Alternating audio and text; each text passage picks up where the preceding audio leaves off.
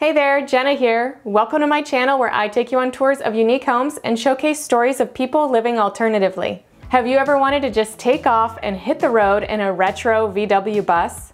Well, in today's video, we're gonna meet a couple who not only did just that, but also figured out a way to work full-time on the road. Nowadays, more and more people are working from home, so why not take your home with you and work anywhere? We really have gotten this value of time and we're in love with that. If you like these kind of videos, make sure that you subscribe and hit that notification bell so that you know every single time I publish a new tour. But right now, let's take a tour of this vintage VW bus and full-time home on the road.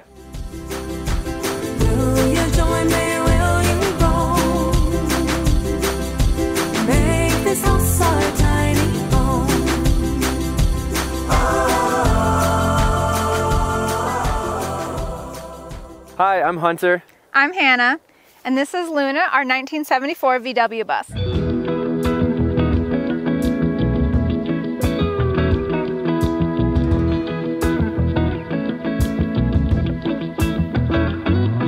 We've always been aware since the van life hashtag has been coined that something was going on and that there was a movement, you know, happening outdoors. But I don't think it was ever something that really was actually accessible to us because our jobs weren't remote because of COVID and the majority of jobs going remote. That is what helped us transition into a digital nomad job. We've currently been on the road for about four months in our bus. We've owned the bus for almost two years now. We didn't initially get the bus for van life. We got it for weekend trips. Seeing other people doing the whole van life movement, we decided that we can do it in this. Like, we don't need a large rig. It took us a bit to kind of make that decision that we want to go full time in such a small vehicle. I've always been a big car guy. I knew getting into van life I needed something that I was really proud of, and I wanted something that I could still take to car shows. For me, that was a Volkswagen bus. Everyone knows the icon of that vehicle. It really is a symbol of van life, it's a symbol of adventure.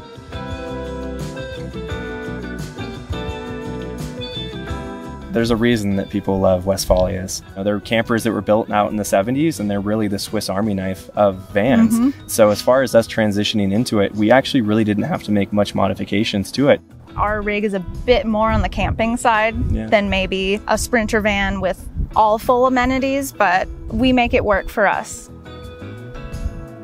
We purchased the bus for $22,000 and then we have also done about $6,000 worth of renovations, really just overall maintenance just to make sure that it was road trip ready. All in total, we're about $28,000 into it.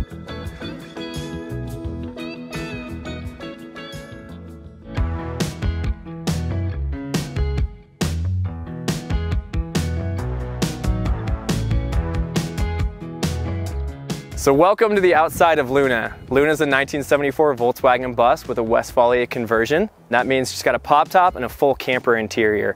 Lengthwise, Luna is about 15 feet long. When you have the pop top, you're standing around 9 feet 5 inches. When closed, Luna's about 6 foot 6, so we can get into a ton of parking garages, things that are actually pretty accessible for us that wouldn't be accessible for larger vans. From an interior perspective, she's five feet eight inches, so it's really pretty narrow in there, just like a lot of classic cars of the era. So over here on this corner of our bus, we have our gas fill up. Our gas tank is about 14 gallons in capacity and we get 16 miles per gallon. On a full tank of gas, we can get 220 miles total. So these right here are called Jalousie windows and they're on most Volkswagens that have a Westfalia camper conversion. We love it so much because if we open both sides, we get a really nice cross breeze on a windy day. So Luna's rocking some pretty meaty tires. We do a lot of off-roading in this bus and it's really important to make sure that we never get stuck. So we run the General Grabber all-terrain tires. They're 27 by 8.5. We get that question all the time and we love them. Volkswagen buses are actually really good off-road. Reason being is because their engine's in the back over the back drive wheel and so it keeps them extremely planted. Next, we're gonna go to our luggage rack. Our luggage rack is up here in it, we store our Go Treads. Go Treads are a dual purpose, so they're recovery tracks as well as levelers. We level ourselves out every single night pretty much, and then if we ever get stuck in some deep sand, we can put these underneath our wheel and we can get out of there.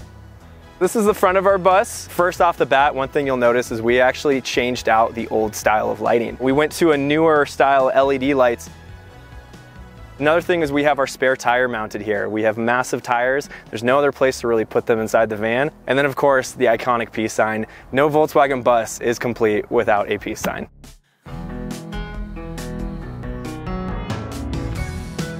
So next we're gonna move to the back of our van. In the back of our van or our trunk, you're gonna find our Camp Chef stove, which we use pretty much for every single meal. Our spare parts bag, because no Volkswagen is complete without a massive spare parts bag, my hiking backpack that of course I use to put our photography gear when we go on hikes, and then lastly, we have our drinking water. It's a five gallon jug, and honestly, we find it's good enough for us. We actually have another tank inside of our van that's seven gallons, but because it's 50 year old plastic, we don't actually drink from it because we don't know the quality of the plastic. This one we know is safe to drink, and honestly, by the time we have to go refill up our ice in our cooler or go to the grocery store, we refill up our five gallon. We find it's plenty enough for us.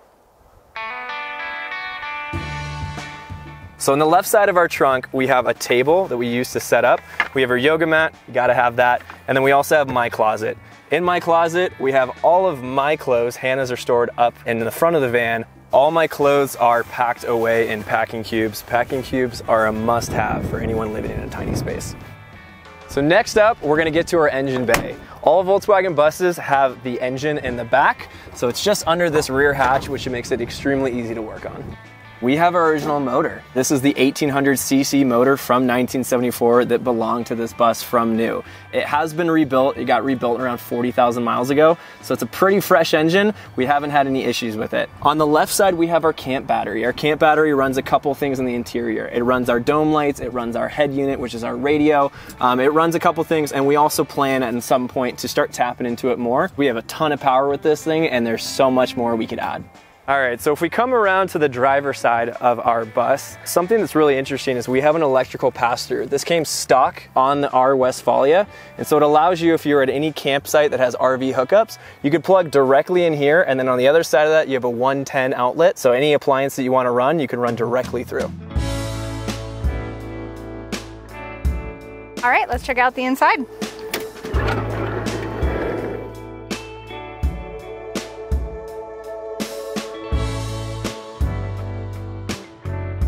Welcome to the inside of Luna.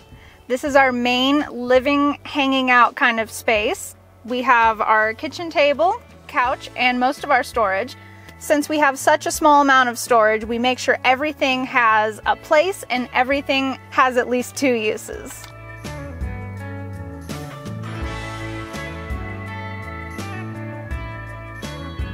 We use Jackeries for our power systems instead of running an electrical system. So we have two Jackeries. That's more than enough power for what we need.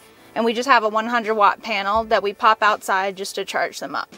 One of us can work inside and the other has the option of working outside, setting up at a camp chair somewhere in the sun just to be outside and have a little separation of space. Behind the couch is where we keep our cooler.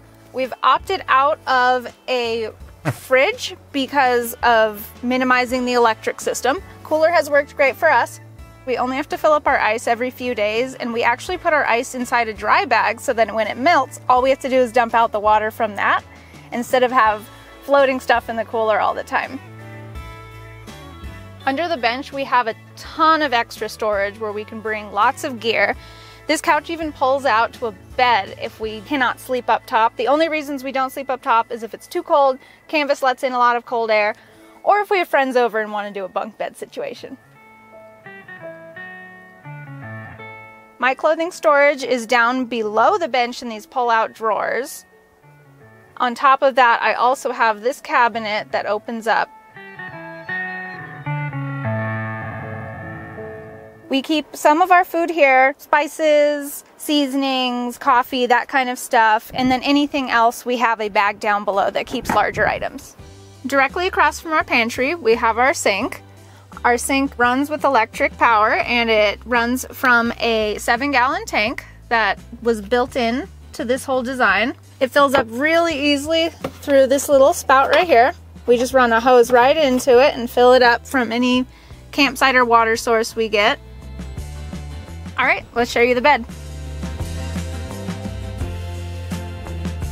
Welcome to our bedroom. This is where we sleep every night. It's also where we can just kind of hang out, relax, have some time to ourselves. Sometimes I sit up here and play video games, sometimes I'll read my books. I love that we can have these windows open to the side and it really just feels like we're tent camping. Everywhere we go it helps us connect with nature. It is so nice to wake up in the morning and with the canvas surrounding us, you get that sound of the birds or the environment everywhere that you are. If we are camping in the city, we definitely keep the top closed. We will pull out the bottom bed, but we prefer to camp out in nature whenever we can.